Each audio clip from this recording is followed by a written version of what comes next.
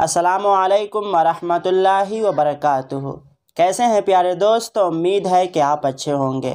दोस्तों, जैसा कि मैं बता चुका हूँ आपको कि शब बारात कब है और किस तारीख़ को है, किस दिन है और आपको किस दिन इबादत करना है, किस दिन क्या करना है।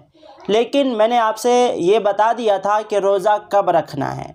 फिर भी बहुत सारे लोग ये कह रहे हैं कि किस दिन रोज़ा रखेंगे? दो रोज़ा रखना है तो हम किस किस तारीख़ में रखेंगे? किस दिन शहरी खाएँगे? तो आज के इस वीडियो में पूरी बात मैं आपको बताऊँगा कि आप कितने रोज़े रखेंगे और शहरी कब खाएँगे इफ़ार कब करेंगे। तो आप इस वीडियो को आखिर तक देख लीजिए। देखें दोस्तों, आने वाले सात मार्च को रात में शब बारात है दिन गुजार करके।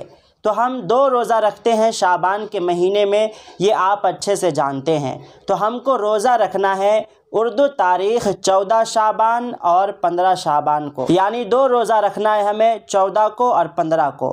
तो हम आने वाले छः मार्च को पीर के दिन दिन गुजार करके रात में शहरी खाएँगे।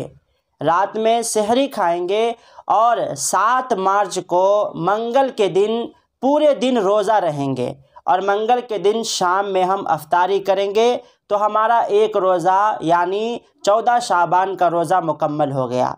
और फिर सात मार्च को मंगल के दिन, रात में हम लोग शहरी खाएँगे और शहरी खाने के बाद आठ मार्च को बुध के दिन पूरे दिन रोज़ा रखेंगे और शाम को इफ़ार करेंगे तो दो रोज़ा मुकम्मल हो गया। यानी चौदह शाबान का रोज़ा और पंद्रह शाबान का रोज़ा मुकम्मल हो गया।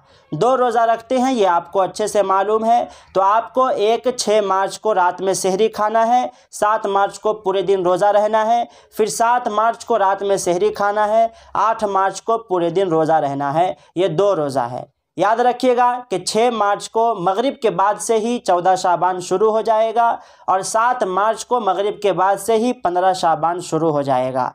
और शब बारात 7 मार्च को मंगल का दिन गुजार करके जो रात आएगी, वो रात शब बारात की रात आएगी। तो उसी रात में आपको इबादत करना है, हमें भी करना है। दुआ कीजिए कि अल्लाह तबारक व ताली हम सबको उस रात में अच्छे से इबादत करने की तोफ़ी दे और हम लोग अल्लाह को उस रात में राज़ी कर पाएँ, अल्लाह के सामने हम अपने गुनाह की तोबा कर पाएँ और जहाँ तक हो सके नफिल नमाज़, इबादत, सदक़ खैरात कर सकें। तो उम्मीद है कि आपको मेरी बात समझ में आ गई कि रोज़ा किस दिन रखना है।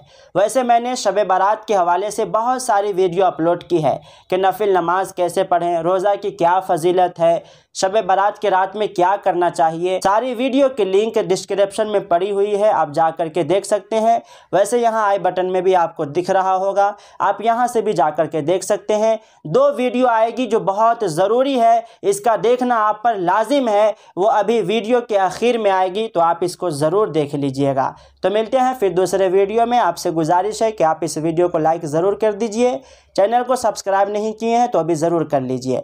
मिलते हैं फिर दूसरे वीडियो में। जब तक के लिए असलकम अल्लाह हाफिज़।